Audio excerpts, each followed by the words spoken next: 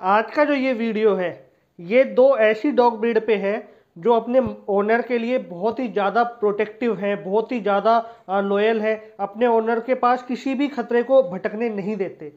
Video start करने से पहले मैं आपसे क्वेश्चन पूछना चाहता हूँ। जैसे कि मैंने बताया कि पिटबुल जो डॉग है, वो एक कैटेगरी है पिटबुल कोई प्योर ब्रीड का नाम नहीं है।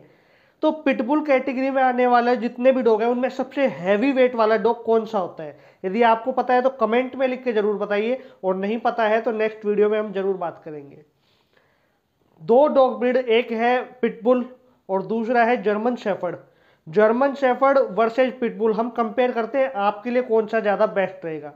तो जैसे कि हमने पहले हिस्ट्री जानी है, मेरी पिछली काफ़ी वीडियोज़ हैं पिटबुल पर भी है जर्मन शेफर्ड भी है, फिर भी मैं ओवरऑल बता देता हूँ। जो जर्मन शेफर्ड है, उसका जो ओरिजिन था वो जर्मनी से था, ठीक है? वहाँ पे जो कैटल्स होते थे, उनको झुंड में रखने के लिए, उनको सेफ्टी देने के लिए ये डॉग का यूज़ में आता था, वहाँ पे ये काम करते थे। पिटबुल जो डॉग ब्रीड है, वो फाइटिंग के लिए बनाए पहले के टाइम में बुल बैटिंग बियर बैटिंग जैसे गेम होते थे, एक बड़े अखाड़े के अंदर भालू को छोड़ दिया जाता था या बुल को छोड़ दिया जाता था, फिर पिटबुल छोड़ दिए जाते थे तो वो लड़ते रहते थे, खून खराबे वाली हिस्ट्री रही है पिटबुल की। दोनों डॉग वर्किंग लाइन के हैं। एक डॉग है जो गार्ड डॉग के अंदर सबसे बेस्ट माना जाता है family plus guard dog German shepherd दूसरा है जिस, जो थोड़ी, जो उसकी रेपुटेशन है वो बहुत ही ख़राब है, ठीक है? और क्योंकि एक तो आप देखो पूरे वर्ल्ड में जितनी भी कंट्री है उनमें इकतालीस देशों में पिटबुल बैन है। वर्ल्ड की जो मोस्ट डेंजरस डॉग ब्रीड की बात करें हम तो पिटबुल का नाम आता ही आता है फ़र्स्ट सेकंड नंबर पे चलता ही रहता है पिटबुल तो काफ़ी ज़्यादा डेंजरस तो है नो डाउट बट डिपेंड करता है आप ट्रेंड कैसे करते हैं। हम जब जर्मन शेफर्ड लेने जाते हैं तो बिना कुछ सोचे समझे जर्मन शेफर्ड को ले लेते हैं। ठीक है? क्योंकि हमें मालूम है कि हमारी फैमिली को बहुत अच्छे से प्रोटेक्ट करेगा, बच्चों के साथ काफ़ी केयरिंग तरीके से रहेगा, घर में बुज़ुर्ग है, उनको भी ज़्यादा परेशान नहीं करता है और बहुत ही ज़्यादा लॉयल है। लेकिन जब जर्मन शेफर्ड इंडिया में आया था तो यकीन मानिए, जिस तरीके से आज पिटबुल पूरे इंडिया में बदनाम है इसी तरीके से जर्मन शेफर्ड भी बदनाम था।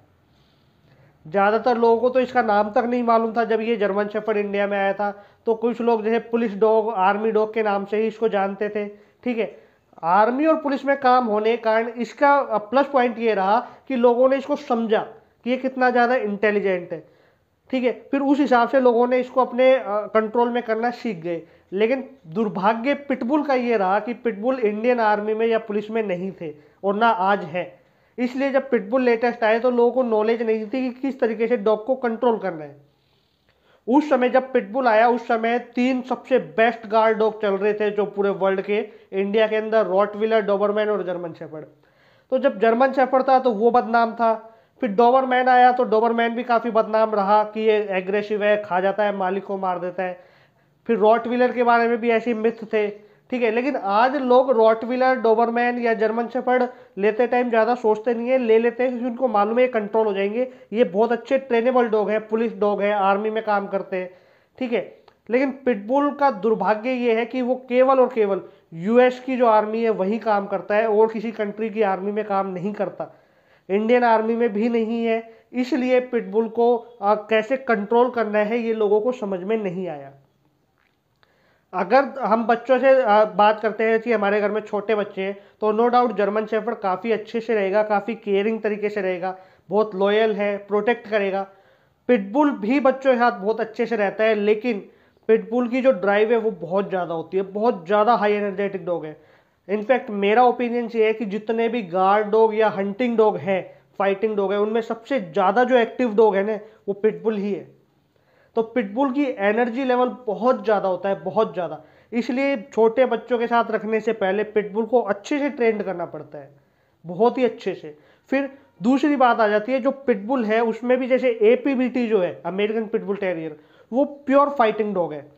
तो कोशिश ये करना कि अगर आप एपीबीटी ले रहे हो तो आपके पास एक बड़ा घर होना चाहिए। छोटे घरों के लिए एपीबीटी नहीं है, ठीक है? छोटे घरों के लिए बिल्कुल भी रिकमेंड नहीं है कि आप पिटबुल को ले आओ और आप सोचो कि मैं इसको ट्रेंड कर दूँगा तो ये कंट्रोल में रहेगा। नहीं रहेगा, क्योंकि इसका नेचर ऐसा है कि आपने ट्रेंड कर दिया, जब तक आप वो आपके कंट्रोल में रहेगा।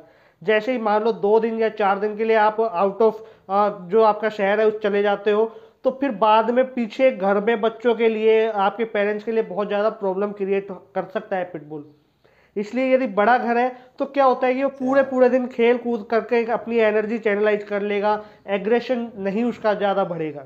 छोटे घरों में बंदे बंदे बंदे, वो ज़्यादा डिप्रेशन में चले जाते हैं, ज़्यादा फिर इरिटेट हो जाते हैं, फिर वो एग्रेसिव हो जाते हैं। अब एक टाइम आप मान लो कि आप 10-15 दिन के लिए बाहर चले गए शहर से तो आपके पीछे भी कोई पर्सन मौजूद होना चाहिए जो पिटबुल को कंट्रोल कर सके। ठीक है, जो बाहर घुमा के ला सके। छोटे बच्चों के हाथ में पिटबुल मत दे देना कि वो जाके बाहर घुमा के लिए आए। भले ही आपके बच्चों को पिटबुल कुछ ना कहे, लेकिन बाहर किसी एनिमल पे या किसी स्ट्रेंजर पे अटैक कर देगा, और यदि पिटबुल ने अटैक कर दिया तो यकीन मानिए छुड़ा पाना बहुत मुश्किल हो जाता है। यही केस जर्मन शेफर्ड का है। लेकिन जर्मन शेफर्ड का प्लस पॉइंट ये है कि यदि आपके बच्चे जर्मन शेफर्ड को बाहर वॉक पे घुमाने ले जा रहे हैं तो जर्मन शेफर्ड सिर्फ़ और सिर्फ़ आपके बच्चों को प्रोटेक्ट करने के लिए किसी पे अटैक करेगा, बेवजह किसी पे अटैक नहीं करेगा, यदि आपने जर्मन शेफर्ड को अच्छे से ट्रेंड किया है तो। अब बात करते हैं हेल्थ इशूज की। तो पिटबुल में कोई हेल्थ इशूज़ नहीं आते, कोई प्रॉब्लम नहीं आती। सबसे लो मेंटेनेंस जो गार्ड डॉग है ना, या फाइटिंग डॉग है, वो पिटबुल है। एक बेल्जियन मेलानोइज और एक पिटबुल ये दोनों ऐसे डॉग हैं जिनका कोई मेंटेनेंस नहीं होता, यकीन मानिए। क्योंकि एक तो इनका कोट बहुत शॉर्ट होता है।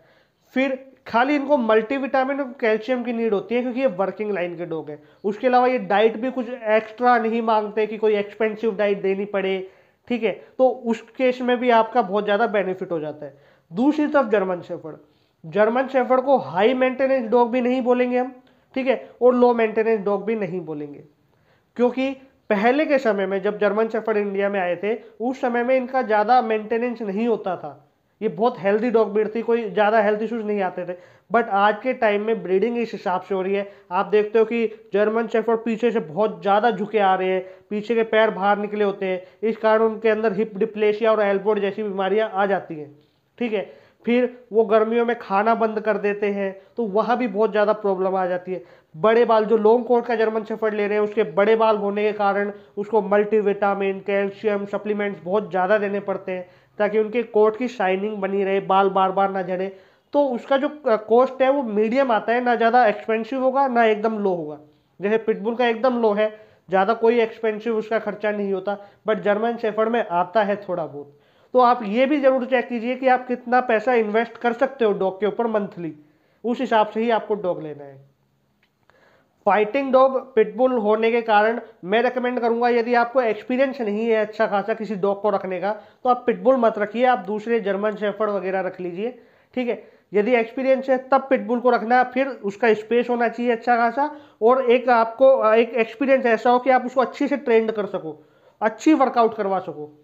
दूसरी तरफ़ जर्मन शेफर्ड है, वो अगर आपको प्रोटेक्शन के लिए लेना है, गार्ड के लिए लेना है तो नो डाउट आप ले सकते हो, लेकिन इस चीज़ का ध्यान रखना, आपके घर में किसी मेंबर्स को और डॉग के जो हेयर है, उससे एलर्जी ना हो, क्योंकि जर्मन शेफर्ड के बाल झड़ेंगे ही झड़ेंगे।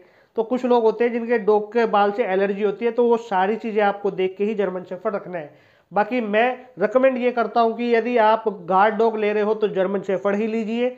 ठीक है? उसके बाद एक बार स्टेप बाय स्टेप चलिए। जैसे आज आपने जर्मन शेफर्ड रखा एक्सपीरियंस लिया, उसके बाद आप रॉटविलर या डोबरमैन पे शिफ्ट होइए। उसके बाद फिर मर्ज़ी, चाहे आप जो डॉग ले सकते हो। चाहे आप पिटबुल लो डॉगर जेंटिनो लो, कुछ भी लो।